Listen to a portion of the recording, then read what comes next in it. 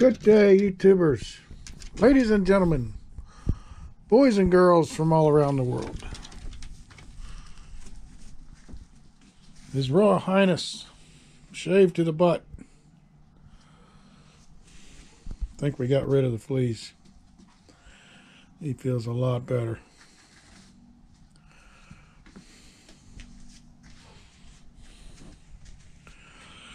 Progress this week. Didn't do a lot of filming because I was working on other stuff and I did put a lot of pins in. As you can see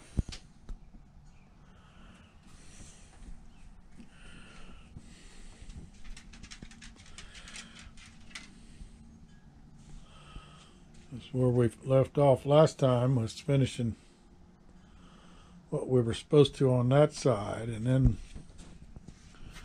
moved back to the original side and went ahead and planked all the way up to the deck level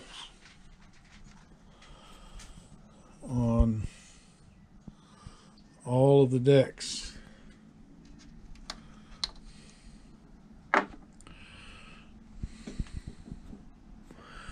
So now we got to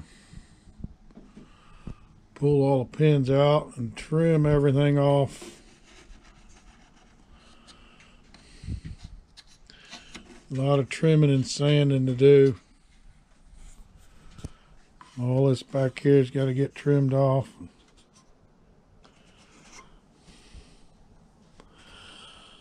But that was a, a whole bunch of boards on the one side got us up to the deck level.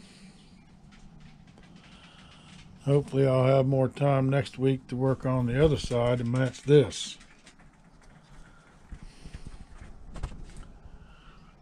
We still got a whole bunch more over here to get up to the deck on this side. So good progress. Not too much sanding to do just a lot of trim work and we'll flush these edges with the slope of the deck.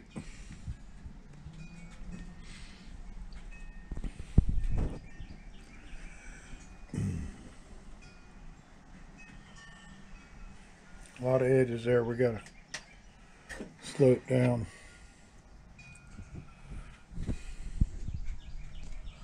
So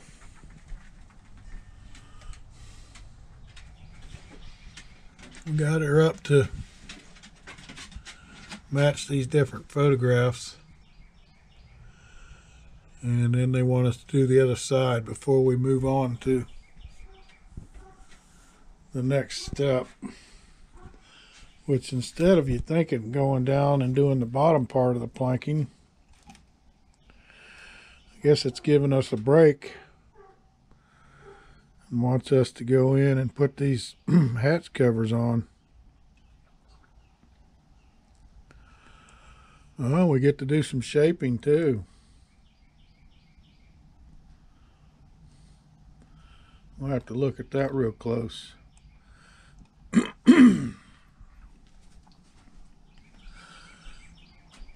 I haven't even seen my shaping tool to match that. Uh, hopefully I got the right one. Making the boards like a corner round and then framing in the hatch covers with that board that's corner rounded. That's going to be fun, but it'll be a change of pace from the planking. And I imagine after that, they'll have us finish the rest of the planking on the bottom. Yep. And continue downward.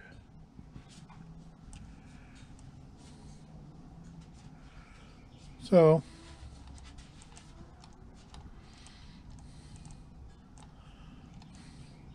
probably won't get to these hatch covers next week because we got a lot of planks to put on on the other side.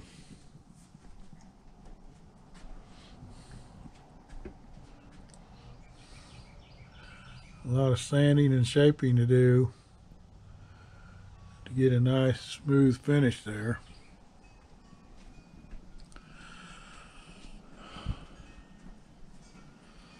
So using these sewing pins worked out really good.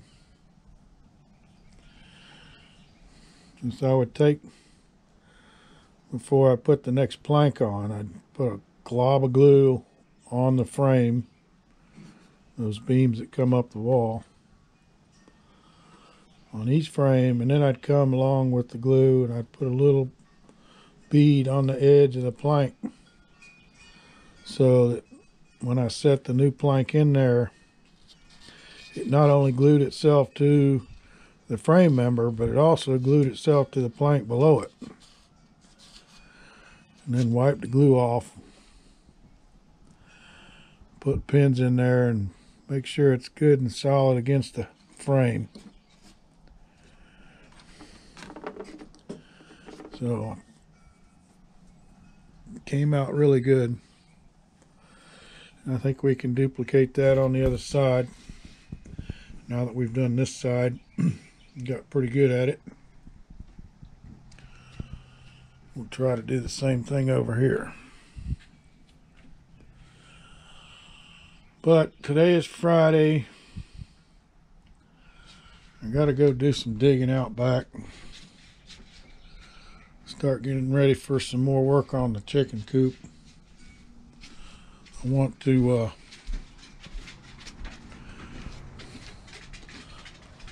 Mr. Mufasa going to follow me wherever I go.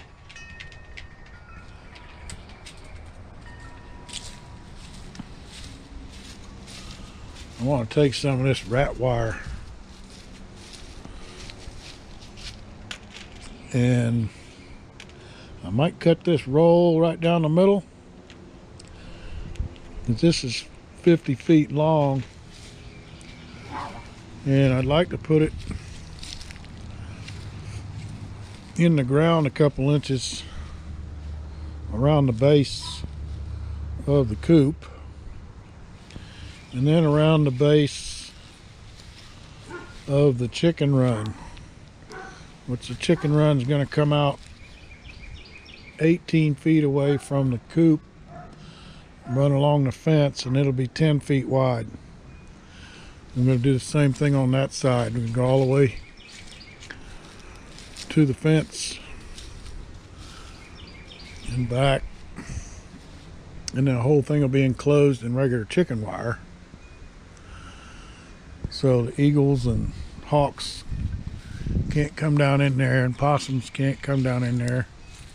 I saw a possum the other day running along the fence. and I whacked him with the hoe, but I don't think I got him. I know he's going to be looking for my chickens when they come. So the idea is to get the rat wire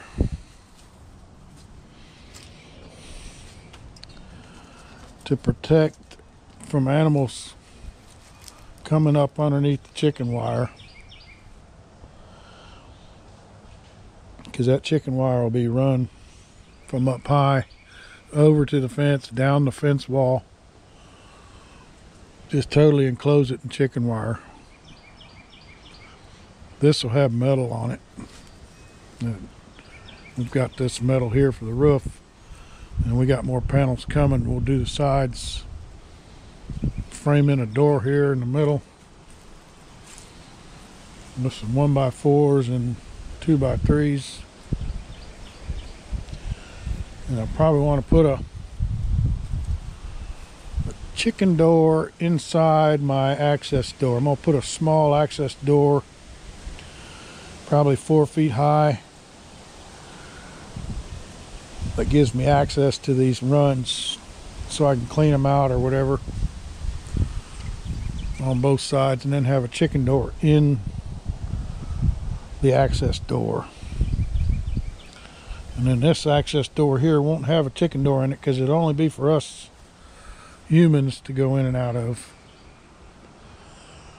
in the past, we had a chicken coop back here and we had some of that fencing enclosing this back area and we would let them run out in this area. But that's how the possums got them. After a couple years, possums started coming in here and catching the chickens one at a time because I didn't have chicken wire protecting them from the predators. Well, is not a predator. He does haul butt after a squirrel every now and then, but he ain't fast enough.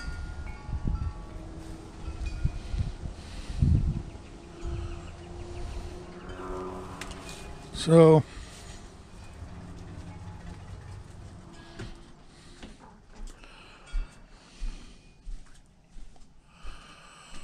that's it for this week. We did make good headway this week with the planking. This kind of planking is fairly simple compared to when you got to make all them arcs and curves. We had a little bit of that up front. And we just used the heating iron and some water. We got a pretty good wrap on that. A little bit right in here. Create that arc. We got one, two boards there that didn't pull tight. I might have to give him some help. I don't know. Maybe I can just fill a filler that. We'll see when we get to trimming these off how bad it is. So thanks for watching.